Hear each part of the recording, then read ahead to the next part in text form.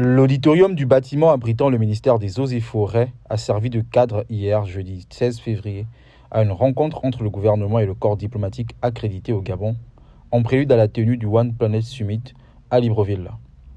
Cette rencontre était l'occasion d'expliquer aux diplomates les enjeux de cet événement. Les membres du gouvernement ont décliné à leurs interlocuteurs la vision du chef de l'État, Ali Bongo Ondimba, et présenté les résultats attendus au sortir de cette grande messe. S'agissant de la problématique en lien avec l'environnement, puisque c'est l'objet de nos échanges de ce jour, il y va de la sauvegarde de notre planète.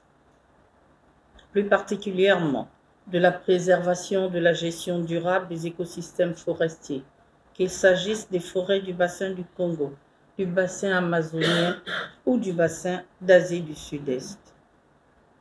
Excellence, nos pays font face aux conséquences désastreuses consécutives à la perte de la biodiversité et au dérèglement climatique. Pour rappel, le but de l'organisation de cet événement est de promouvoir la solidarité entre les trois grands bassins forestiers mondiaux. En séquestrant des centaines de millions de CO2, ces bassins forestiers jouent un rôle critique dans la régulation du climat. Le choix du Gabon n'est pas anodin, puisque 88% du territoire est couvert par la forêt équatoriale.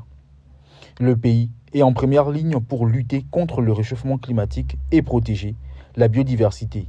De plus, il est un précurseur dans la protection de ses ressources naturelles.